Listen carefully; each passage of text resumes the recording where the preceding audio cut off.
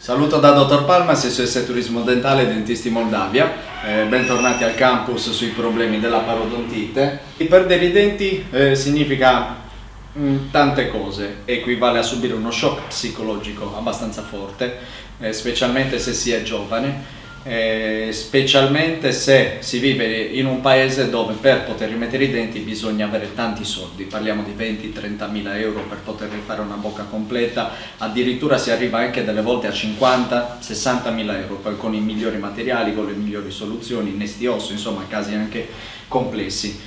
Se uno è giovane, se uno non ha i soldi, se insomma si è impediti dal poter rimettere i denti significa parlare con le persone, con la donna che ami, con la ragazza che magari ancora non hai conosciuto, che magari potrebbe diventare tua moglie o che magari ti lascia, che hai già conosciuto e ti lascia perché quando sbadiglia ha visto qualcosa in bocca che non gli è piaciuto, magari ha visto uno scheletrato, qualcosa di metallo che passava sul palato e magari associa al fatto che ogni tanto c'è quello strano odore che esce dalla bocca e dice ma questo c'ha la fogna in bocca, ma io non lo bacio quello. E c'è un altro studio che hanno fatto che le coppie si selezionano, l'American American Dental Association ha fatto questo studio. Secondo l'odore ovvero eh, il partner viene selezionato secondo l'odore, quindi delle volte il fettore di bocca può essere un elemento determinante e sconvolgente nella vita di una persona, cioè può portare proprio a uno sliding door, a un universo parallelo dove tutte le cose più belle che si sarebbero dovute verificare nella tua vita, le cose più belle che ti saresti meritato, non si realizzeranno perché sei nato in un paese dove ti verrà impedito di risolvere un problema magari genetico come la carenza da interleuchina 1 oppure dei fattori che, tutto un susseguirsi di fattori che hanno portato a, questa, a questo mondo parallelo. Allora lì inizia l'incubo, inizia l'incubo di uh, andare in giro con gli amici a mangiare la pizza e lasci la crosta sul piatto ma perché mangi la pizza così? No, a me la pizza mm, piace solo la parte interna, non mi piace la crosta. Oppure vai in giro, arrivi e ti è cascata qualcosa alla bocca. Quella frazione di secondo in cui fai così, gli amici magari non ti hanno visto tutti, ti ha visto un amico e quell'amico parla con Andrea e dice oh ma hai visto Luca? Luca, ciao! E allora magari il gruppo di amici quando tutti i volti fanno tra loro, si guardano e fanno così ok? E inizia a cambiare a livello del gruppo sociale la percezione che i tuoi amici hanno di te. Oppure questo così magari lo fanno in presenza della tua ragazza, la tua ragazza si sente a disagio perché ha capito perché i tuoi amici fanno così. Uh, il sorriso, i denti sono un elemento di posizionamento sociale, sono la prima cosa che una donna guarda in un uomo, la seconda sono le mani, la terza sono è il sedere, ok, il viso, certo, anche quello, c'è chi dice il portafoglio, ieri sera ero con degli amici e dicevano no guarda che la prima è il portafoglio, non generalizziamo. E per quanto riguarda il sorriso ti posso assicurare che tutte le donne la prima cosa che guardano è il sorriso ma non solo le donne. I denti è un po' come i cavalli, se vuoi vedere la storia di un cavallo, la salute di un cavallo, basta che lo guardi in bocca. Io ti posso assicurare che anche guardando in bocca a un mio paziente io ti posso dire cosa ha passato quella persona.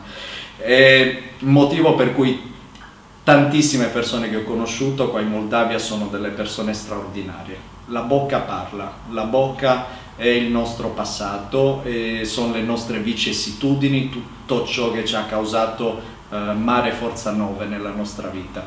Uh, il problema però resta, quello è il passato, ora rimane il problema di dover rimettere i denti. Per poter rimettere i denti eh, ci vengono chieste delle cifre assurde nel nostro paese. Eh, il paese, l'Italia, eh, l'Inghilterra, UK, eh, la Germania, la Francia sono i paesi in assoluto il più costoso è l'Australia, un impianto dentale può arrivare a costare 6.000 dollari in Australia, poi c'è l'America che arriva con i 3-4.000 dollari, poi c'è l'Italia, stime dell'Andi, mediamente ha rilevato nel 2012 tra i 1.600 e 2000 euro un impianto dentale. Il low cost si può arrivare a 990 euro un impianto dentale, UK arriva a 2005 un impianto dentale, ma se noi ne dobbiamo fare 10 allora capiamo che lì il problema è veramente serio. Uh, noi sbagliamo delle volte a parlare di prezzi, ok, a parte che un medico non dovrebbe avere listino prezzi, uno fa il medico per vocazione, non per professione, un po' come fare il politico, se vuoi fare il politico lo fai per vocazione, non per professione. Infatti dico sempre, dovrebbero stare aperte le università di medicina, odontoiatria, se vuoi fare l'odontoiatra poi finisci, ti paga lo Stato, il tuo stipendio di 1200 euro al mese, fai praticamente volontariato perché sei un medico, ok, non sei un imprenditore, allora vediamo in quanti vanno a iscriversi in odontoiatria e quanti in medicina, ok, per vocazione, non per professione. Ma invece cosa succede? Che viviamo in un paese dove a un certo punto ti devi procurare questi soldi, magari non ce li hai tutti questi soldi, allora ti viene proposto, guarda, hai perso sei denti, mettiamo uno scheletrato, aspettiamo che perdi gli altri, quando li perdi li aggiungiamo sugli, sullo scheletrato, da arrestare chi dice questo, perché un medico non deve aspettare che la cancrena aumenti per tagliare la gamba, che il medico deve intercettare la cancrena, tagliarla subito e con i soldi statali andare a ricostruire con la migliore protesi esistente, okay, che è stata studiata con i fondi per lo sviluppo della scienza che sono patrimonio dell'umanità. La scienza è patrimonio dell'umanità, non può essere fatto lucro con quello che lo Stato all'università mi ha trasmesso. Io non posso lucrare. Il momento in cui chiedo soldi per applicare le mie conoscenze scientifiche che mi sono state regalate dallo Stato, che sono patrimonio millenni di eh, progressi che mi sono stati comunicati dall'università statale, allora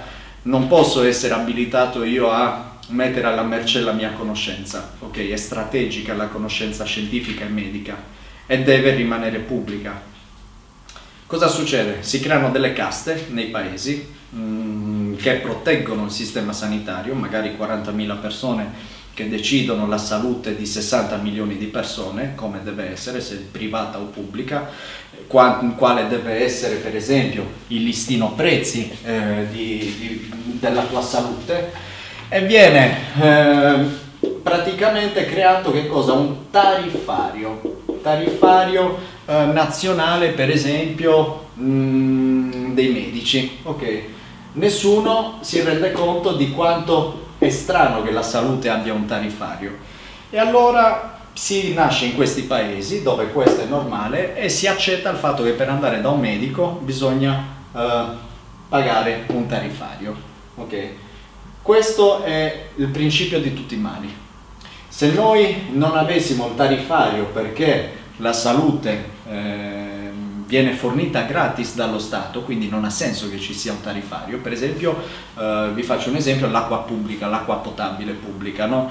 Se io andassi alla fontanella e trovassi a un certo punto il tariffario, mi stranirei e direi ma come quel rubinetto è pubblico, non, non ha senso che io ho una tariffa sull'acqua che sgorga da, dalla, dalla roccia di questa fonte per esempio, togliamo il rubinetto, perché è un bene pubblico, è un servizio pubblico la salute Ehm, allora se noi abolissimo i tariffari allora elimineremmo il principio di tutti i mali delle professioni mediche. Ok? E adesso ve lo spiego qual è il principio. Un qualcosa di cui non parla mai nessuno è il grande conflitto di interessi che affligge la sanità. Uh, chi decide ciò di cui tu hai bisogno è la stessa persona che si intasca i soldi. Ok, quindi io che sono uh, medico uh, e tu che sei ignorante posso dirti che hai questo problema oppure che hai questo problema e che la soluzione è questa oppure questa. Uh, posso anche avere due lauree, tre lauree, ma se uso la conoscenza a mio vantaggio e il rischio è veramente alto dal momento in cui i soldi piacciono a tutti, allora si innesca il conflitto di interessi, ovvero dove chi decide ciò di cui tu hai bisogno, io ti comunicherò il problema che tu hai, ma non è niente, è normale, stai perdendo i denti, è l'età. È la stessa persona che poi più avanti si intasca i soldi, guarda, dobbiamo mettere gli impianti dentali, dobbiamo, è arrivato il momento di operare, di prendere sotto mano la situazione, la, mano, la, la situazione la dovevi prendere sotto mano quando avevo la gengivite, hai mai visto sei anni fa con la gengivite? Okay? Questo è il conflitto di interessi ma che non c'è solo nella medicina, esiste nei sistemi privati della medicina, eh, c'è un po' molto meno nei sistemi pubblici questo conflitto di interessi se non per niente.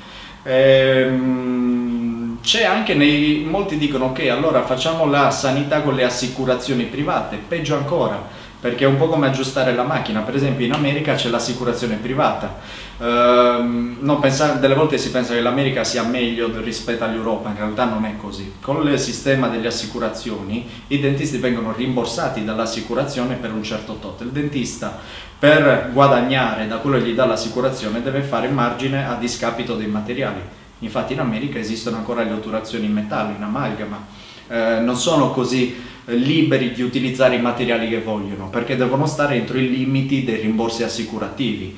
Questo è l'aspetto negativo della sanità con le assicurazioni. Invece questi problemi non ce li avremmo se i materiali fossero dati dallo Stato, se lo Stato avesse le sue fabbriche. Domani, un, uno Stato come per esempio uno Stato europeo con un certo PIL, prodotto interno lordo, una fabbrica da 3 milioni di euro di impianti dentali di materiali se la potrebbe costruire domani, mandare questi materiali negli ospedali pubblici oppure ehm, convertire gli studi privati medici odontoiatrici in proprietà dello Stato, dove ci lavorano professionisti che sono stati formati dallo Stato, lo Stato gli ha pagato la formazione, gli ha pagato i corsi, gli fornisce anche i materiali e gli dà uno stipendio statale con materiali che in realtà sono, hanno un costo irrisorio.